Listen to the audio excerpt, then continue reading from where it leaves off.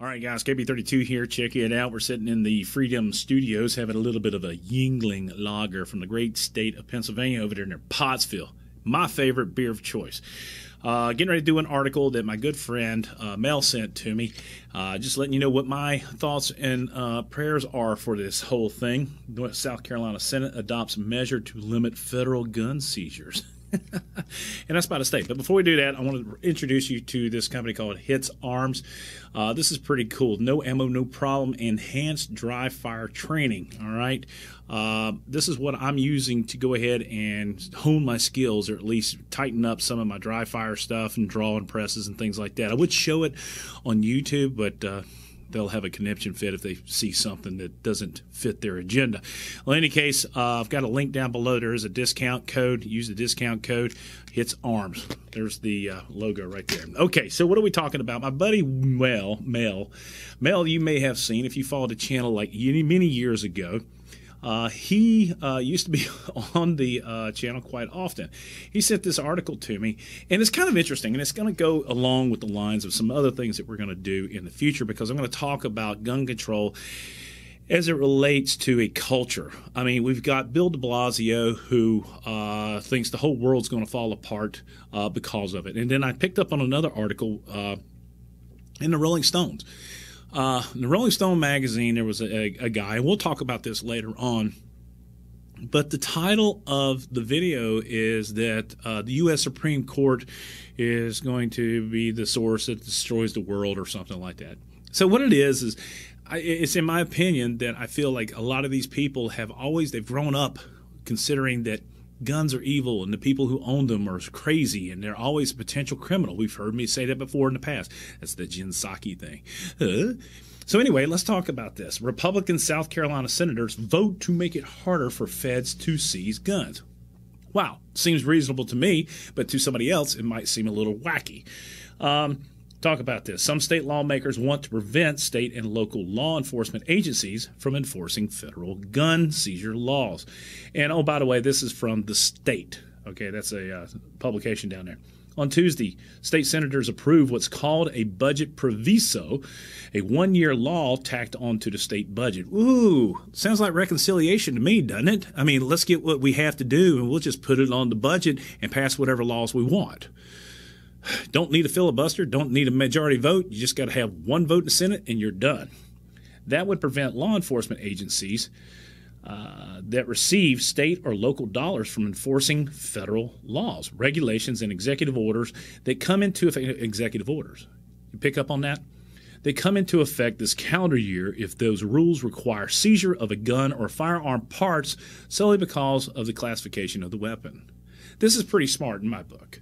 These guys are going in here and they are preemptively creating a, a, a roadblock towards the federal law that could be implicated. Now, here's the whole thing there's later on there's a state state senator or congresswoman or somebody like that and they're like this could never happen. I don't understand why you're freaking out.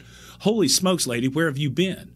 An anti-gunner was sitting there going they're never going to take your guns. I always loved it when somebody said when i did an anti or, a joe biden gun uh, joe biden video. They would always sit there and go i don't know what you're worried about. Obama never took your guns. Joe biden's not going to take your guns.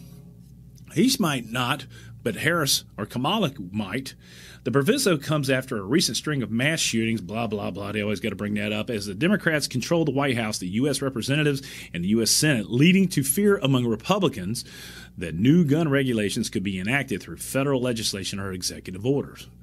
Well, he's already tried it. He's already doing it. He's already moving forward. He's putting forth the effort to get everybody to do it. And there's enough people in Congress, in the House, to make it happen. Don't think anything's going to get old past, oh, uh, what's his name, Joe Manchin over there, because he has refused to step down. And being called a roadblock, he's proud of it and I'm kind of happy for him. Critics say such proposals are political theater, efforts to play to Republicans in the state to support the Second Amendment rights and see Democratic control in Washington as a threat. You damn Skippy. Exactly. And this is one of the reasons why we, as gun owners, are sitting here scared to death. One, he's trying to take anything that you can get through the mail, ammo through the mail. If you looked at all the bullshit that they have tried to pass in the last couple of months, it's absolutely crazy. Supporters of the proviso say the measure is necessary to prevent federal government from using state and local law enforcement to carry out gun measures that come from Washington and that state policymakers may disagree with. Oh, and the, sometimes I can't read them right. Uh, from the Senate Majority Leader Shane Massey, I believe that states are not mere subdivisions of the federal government. Uh, and he's the one who introduced the proposal and is rumored to be considered a run for governor. Anybody who's pro Second Amendment, I will support 100%. Mark Robinson, state of North Carolina, I think he's trying to go for the Senate. I really wish he would push it to go for the governor runship because I understand uh, McCormick or uh, Pat McCrory is trying to go for the Senate seat, as well as you've got uh, Laura Trump. After mass shootings, blah, blah, Joe Biden issued executive orders to reduce the number of homemade firearms. 80 percenters. Well, you know what? He's not necessarily just going for 80 percenters. They're going for ammo, barrels, anything that you can purchase from PSA, Midway USA, Brownells, uh, Palmetto State Army, Primary Arms, all those companies. He's trying to shut your ability down so that you can order a parts kit. And that is what he's talking about. Not just 80 percenters, but parts kits as well.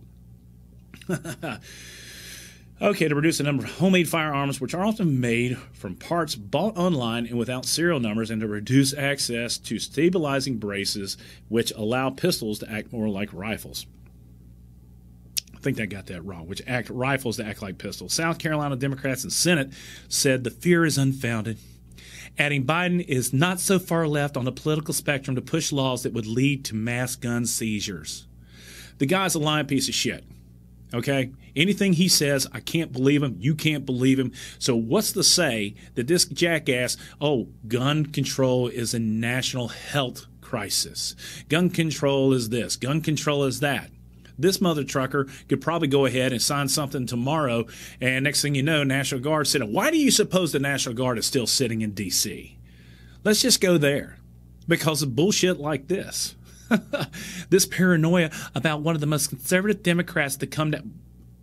Let me read that to you again. I don't know who the hell. Oh, Marlon Kimpson out of Charleston. Okay, if any of you guys know her, uh, I'm guessing it's a her. Uh, this paranoia about one of the most conservative Democrats to come down and take away your guns is paranoia without basis. I'm going to throw up, okay? This lady right here has absolutely no clue what that jackass wants to do. State Senator Dick Harpootlian, Democrat Richland, said the amendment was more about the electoral gain. This is a political gimmick. I get it. You've got the base out there. You know what? Nothing when it comes to the Second Amendment is a political gimmick, gimmick because we hold hard our dear right to bear arms. But Republicans in the chamber said the proviso is necessary to protect gun rights. With all due respect, you can't say that, said Senator Penry Gustafson, Republican out of Kershaw, South Carolina, in response to Democrat senators who say there won't be any future federal laws to add gun restrictions. I don't know what Biden and his administration will do in the future. I can only tell you from my experience, He's lied about everything that he's done. He will continue to lie about everything he d- gets done or wants to do. And I'm going to continue to be fired up about it. There's going to come a day where we're going to do a million man march on damn uh, D.C., and it's coming soon. These jackasses need to know. So, this was an article written by Joseph Bustos. Uh, state government political reporter at the state. I would like to say thank you for writing that article. Mel, thank you very much for sending this in. But here's the gist of it. Here's the synopsis. You've got a president, President Joe Biden, uh, who was somewhat elected. And the only problem that I have with that jackass, other than he is senile, has no idea what he's doing, and he's being told. He came to the table, and all you people who voted, remember what I say. You voted for him because he said he was the only moderate. What has he done that is moderate? What has he done that has brought this country together? What has he done? Other than take jobs, raise taxes because, oh, you can afford it. And again, kill jobs, raise taxes, and oh, I'll, uh, let me guess, uh, let the ungodly amount of illegal aliens, and yes, I'll say it, illegal aliens into this country. Oh, and that's not his fault. Whatever. All right, guys, Killer Boy 32. Let me know what your thoughts are down below, man.